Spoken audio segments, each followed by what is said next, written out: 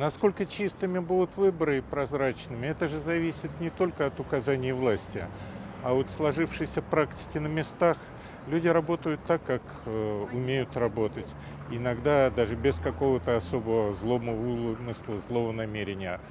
А предельная детализация и инструктирование выборного процесса создает такое количество требований, которые непроизвольно будут э, нарушать. Просто если вот вам расписать, под каким углом какой шаг где сделать, вы э, не сможете все соблюдать.